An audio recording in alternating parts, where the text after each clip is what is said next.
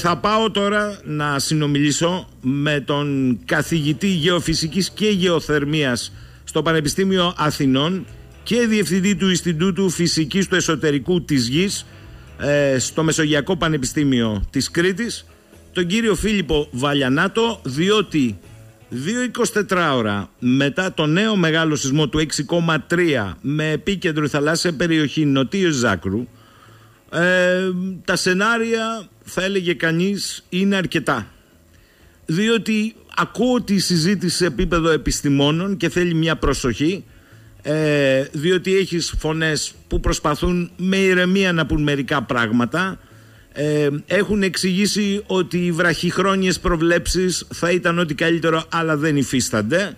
Και οι περισσότεροι έχουν επίσης εξηγήσει ότι με βάση τις πιθανότητες, τα στατιστικά δεδομένα και την εμπειρία χρόνων υπάρχουν κατηγορίες κατηγορίες σεισμικών δράσεων. Αλλά μέχρι εκεί αφήνουν πάντα τις πιθανότητες. Το λέω αυτό γιατί κάποιοι μετά που ακούνε λένε «Α, το είπε έτσι». Άρα είναι θέσφατο, δεν θα γίνει ή θα γίνει και πάει λέγοντας. Λοιπόν, ο κύριος Βαλιανάτος είναι ένας από τους ανθρώπους που προσεγγίζει με πολύ προσοχή τέτοια ζητήματα. Καλημέρα κύριε Βαλιανάτο. Καλημέρα κύριε Σαχίνη και σε εσάς και στους ακροατές μας. Και πρώτα πρώτα να σας διορθώσω σε ένα λάθος. Ε, εδώ εκατό λάθη. Ε, είμαι καθηγητής γεωφυσικής, Παύλα, εφαρμοσμένης γεωφυσικής, καμία σχέση με γεωθερμία. Αυτό το λάθος είχε γραφτεί και σε κάποια εφημερίδα. Ωραία. Και το, και το διορθώνω ε, στο Ηρακλείο εφημερίδα και το διορθώνω γιατί βρήκαν αφορμή από αυτό το λάθος του δημοσιογράφου Ναι. να μου πούνε ότι είμαι, δεν είμαι σχετικός με το αντικείμενο. Α, εντάξει, εντάξει, εντάξει. Εγώ, εγώ δεν το είπα με αυτή την έννοια. λοιπόν, Ε, ναι, αλλά ξέρετε, με, μερικά από λάθη πρέπει μετά να, να αποδεικνύσει ότι δεν είσαι ελέφαντα. δεν είσαι ελέφαντα. Έχετε δίκιο. Κύριε Βαλιανάτο, για πείτε μου το πρώτο, το άμεσο, αν θέλετε. Ε, πόσο κοντά είμαστε στην εκτίμηση ότι ήταν ο κύριος σεισμός, ένα ερώτημα. Και δεύτερο, για να απαντήσετε συνολικά, η μετασυσμική ακολουθία όντως προβληματίζει όλους εσάς; Κοιτάξτε να δείτε.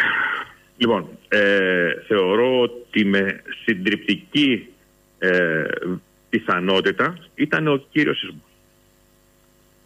Νομίζω ότι 48 ώρες μετά ε, η- υπάρχει μια μεγάλη σύγκληση ε, δεδομένων για αυτό το πράγμα.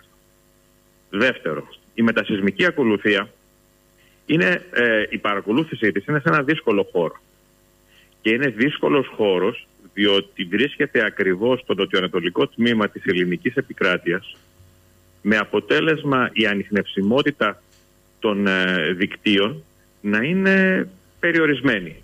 Άρα λοιπόν η, η προσέγγιση που μπορεί να κάνει κανείς πέρα από το να κοιτάει την ανιχνευσιμότητα των, ε, των δικτύων είναι να κοιτάξει και την ανιχνευσιμότητα και τις καταγραφές των παγκόσμιων δικτύων.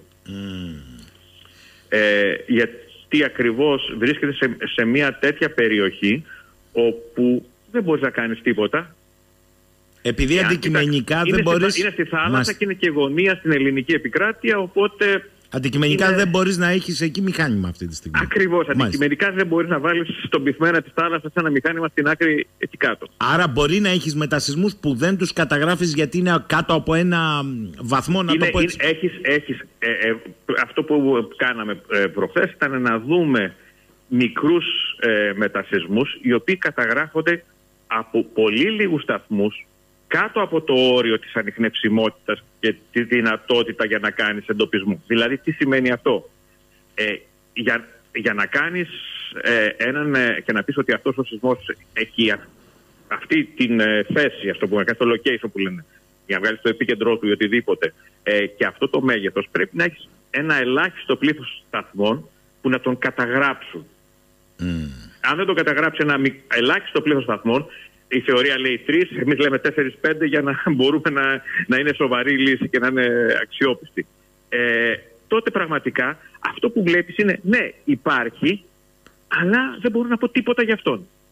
Άρα στην ουσία για τη μετασυσμική ακολουθία Η Όλοι- μετασυσμική λοιπόν ακολουθία, Ναι. ε, λόγω της, να το πούμε, λόγω της γεωμετρίας που, έχουν, ε, που υπάρχει στην τοποθέτηση των σταθμών και περιορίζεται από το, τη γεωγραφία της περιοχής, εντάξει, ε, ε, περιορίζει την ανιχνευσιμότητα.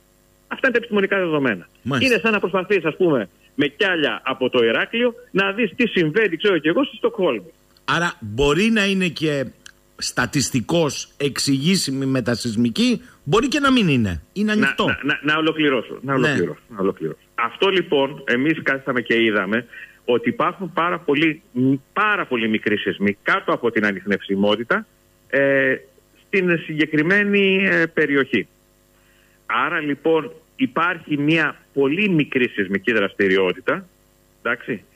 Επίσης, ε, στην ε, περιοχή νότια από, το, από την Κρήτη πάνω στις συγκεκριμένες ε, σεισμικές δομές ε, η δραστηριότητα πολλές φορές έχει μεγάλες αβεβαιότητες σε σχέση με το βάθος.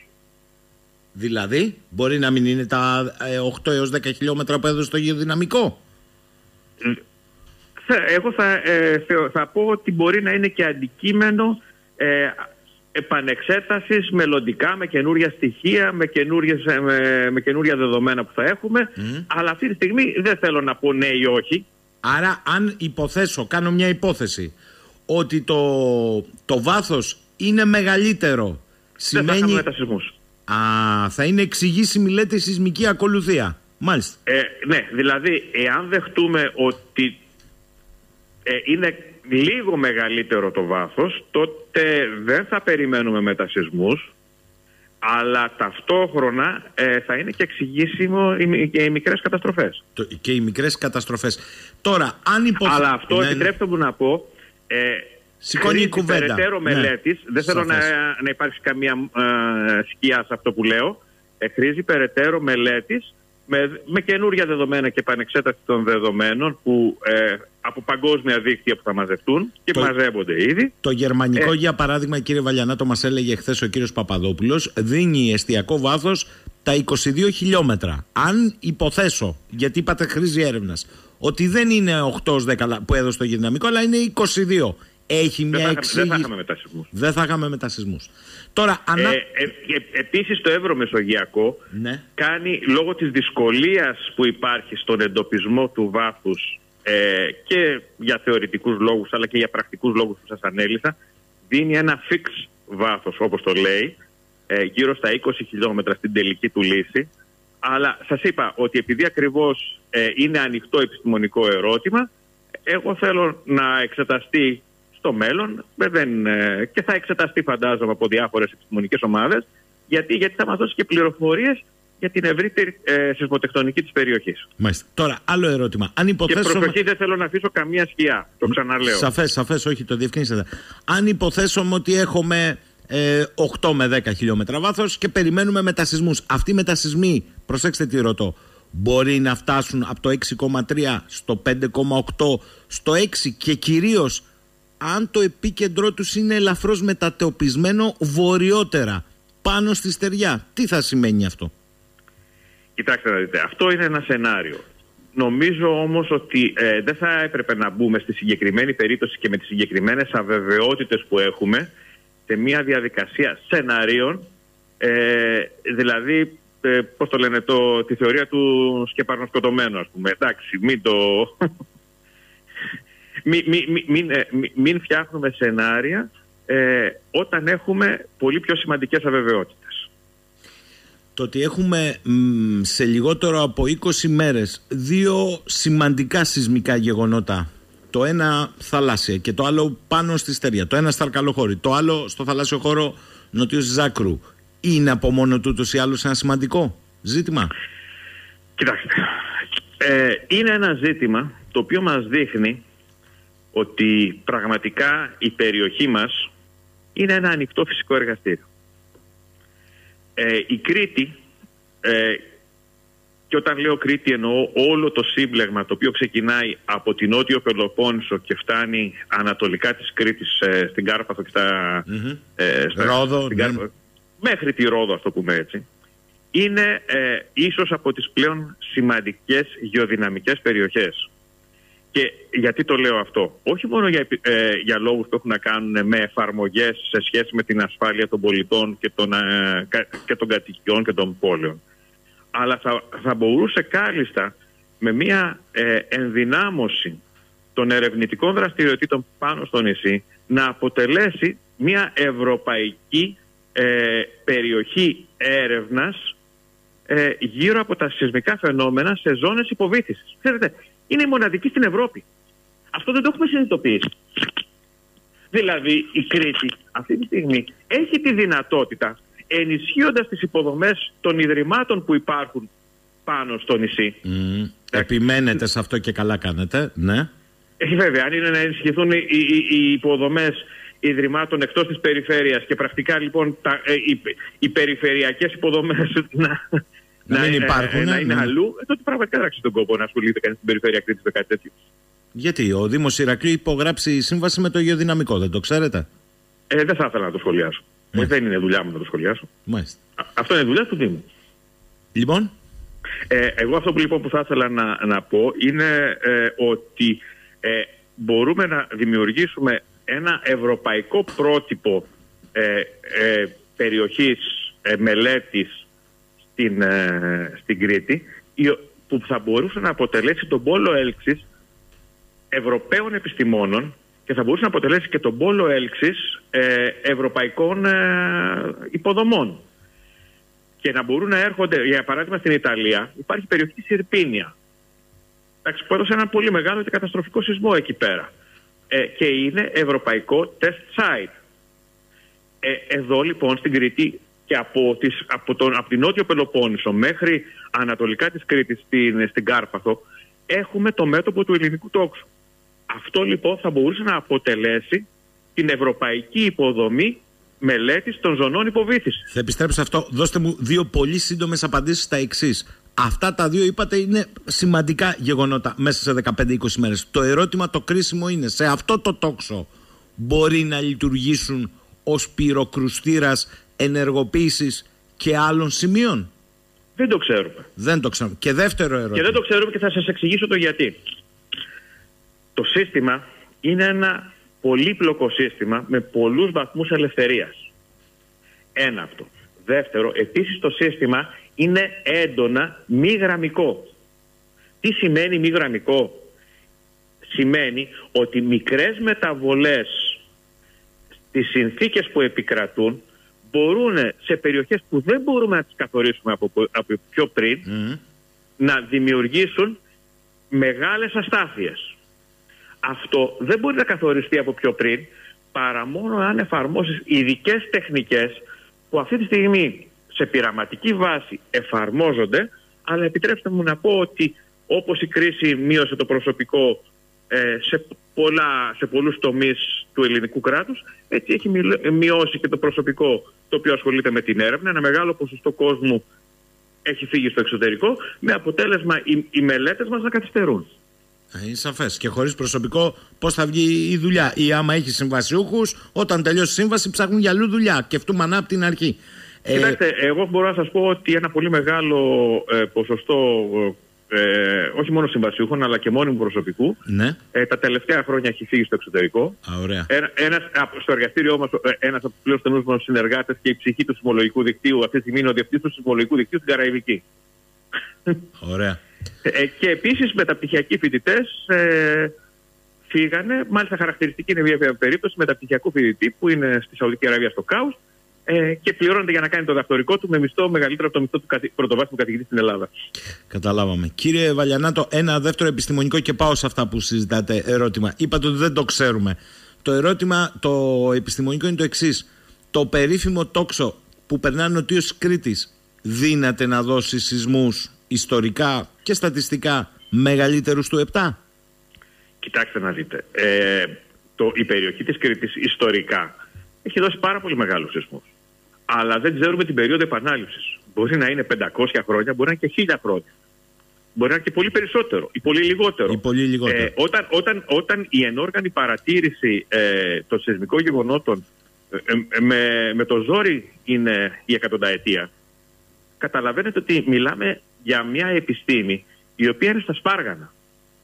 Δηλαδή, να σας το πω διαφορετικά, η περίφημη θεωρία των τεκτονικών πλακών που όλοι αναφέρουμε και όλοι λέμε και δείχνουμε και ωραία σχηματάκια, ξέρετε πότε για πρώτη φορά διατυπώθηκε. Στα μέσα της δεκαετίας του 60. Είναι συνομήλικη μας. Α, τόσο καλά. Μάλιστα. Καταλάβω.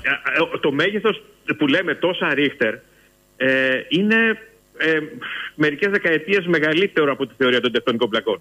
Συγκριτικά, να σας πω ότι ο νόμος του Νεύτωνα για τη βαρύτητα που διέπει τις κινήσεις των πλανητών έχει, έχει διατυπωθεί μερικούς αιώνες. Σωστό.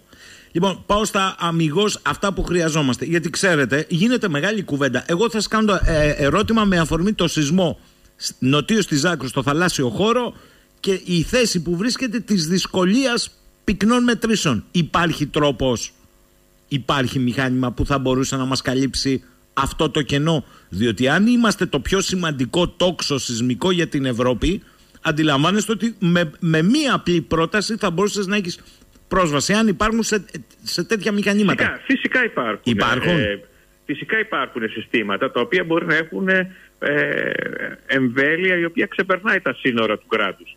Ε, να σας δώσω να καταλάβετε ότι ε, υπάρχουν συστήματα τα οποία ξεκίνησαν για την ανείχνευση των ε, πυρηνικών δοκιμών την εποχή του ψυχρού πολέμου ε, τα οποία ε, ήταν πολύ μακριά για να ανοιχνεύουν εκρήξεις που γίνονταν στην τότε ναι. Σοβιετική Ένωση. Και μάλιστα χαρακτηριστικό είναι ότι οι δοκιμές εκείνη την εποχή γίνονταν την, τις ώρες που γίνονταν και σεισμοί έτσι ώστε να είναι κρυμμένες μέσα στο σεισμό και να μην ανοιχνεύονται την εποχή που ήμουνα μετα, ο πρώτος με, μεταδιδάκτορας, ε, το πρώτο μου μεταδιδακτορικό στην Ουψάλα, ναι. ε, η Ουψάλα ήταν περίφημο σεισμολογικό κέντρο εκείνης της εποχής, διότι ε, ήταν ε, το σεισμολογικό δίκτυο στα σύνορα με τη φιλανδια που ήταν τότε ουσιαστικά ουδέτερη περιοχή ναι, ναι, ναι. και μπορούσε να ανοιχνεύει τις πυρηνικές εκρήξεις στην τότε Σοβιετική Ένωση.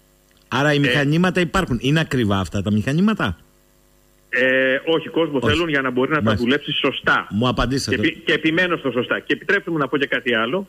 Ε, όταν ήμουνα στο, στο UCL, στο Πανεπιστημιακό Κολέγιο του Λονδίνου, μία από τις ασκήσεις που κάναμε στους φοιτητές ήταν να τους πάμε στο Black Nest, ε, έξω από το Reading, όπου ε, μέσα στο δάσος υπήρχε ένα αγροτόσπιτο και οι μεταπτυχιακοί μας φοιτητές ε, ασκούντο στο να ανοιχνεύουν τις εκρήξεις και, τις, ε, και την ε, σεισμικότητα και πολλά άλλα φαινόμενα, ας μην τα αναφέρουμε εδώ, ε, χρησιμοποιώντας ειδικές διατάξεις που υπήρχαν εκεί, στο Black Nest, για την ανείχνευση των εκρήξεων, των σεισμών και των πυρηνικών δοκιμών ανά τον κόσμο. άρα είναι μια ανεπτυγμένη κατάσταση δεκαετιών μου λέτε. Η περιοχή της Κρήτης γεωπολιτικά ναι. ε, είναι πολύ κοντά σε περιοχές της Ανατολικής Μεσογείου Μου απαντήσατε. που θα, θα, θέλαμε να ξέρουμε τι γίνεται. Μου απαντήσατε θα, θα, Εκτός από τους θα μαθαίναμε κι άλλα.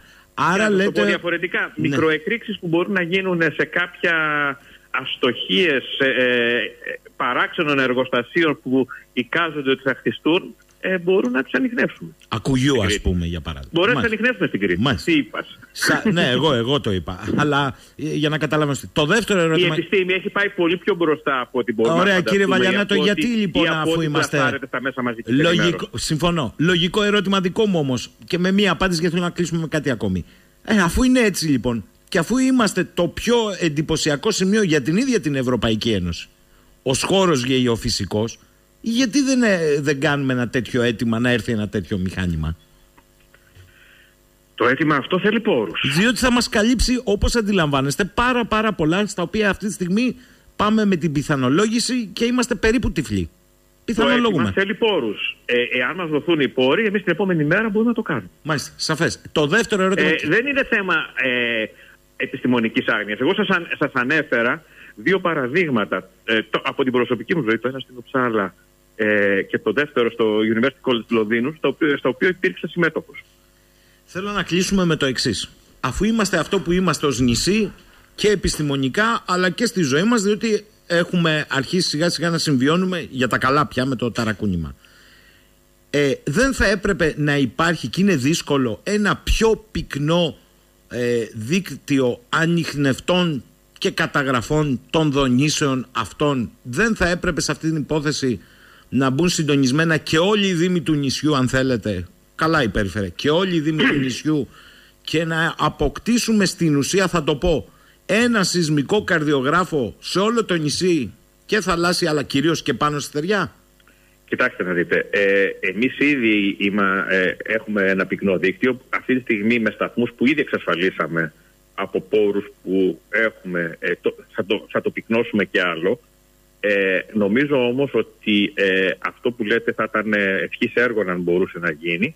Ε, μπορούμε να το κάνουμε, μπορούμε να το υλοποιήσουμε αυτό, το, αυτό, που λέτε. Ε, αυτό δεν εξαρτάται από εμάς, εξαρτάται από, από τις τοπικές αρχές. Και ε, προσωπικά το θέλετε σαν χαρακτήρα, σε μένα μου είναι πολύ δύσκολο να πηγαίνω και να ε, πιέζω, να μην το πω τη λέξη πιέζω, να, ε, στις τοπικές αρχές. Οι τοπικές αρχές μας θεωρώ ότι μας ξέρουν. Θεωρώ ότι το πλέον ε, απλό που μπορούν να κάνουν είναι να απευθυνθούν τα ιδρύματα του νησιού για όποιο θέμα έχουν, είτε είναι σεισμοί, είτε είναι Άμα δεν το κάνουν όμως, πάνε στα ιδρύματα των Αθηνών. Δεν το κάνουν όμως, κύριε Βαλιανά, το πάνε στα ιδρύματα των Αθηνών. Τι να κάνουμε τώρα; Το Ηράκλειο είναι η, ε. η τέταρτη μεγαλύτερη πόλη και πληθυσμιακά το Ηράκλειο είναι η τρίτη πια μεγαλύτερη πόλη με βάση την απογραφή. Με συγχωρείτε. Αλλά ασχολείται ναι. με ιδρύματα των Αθηνών. Να σας ρωτήσω, τεχνολογικά. Ναι, ε, μπο...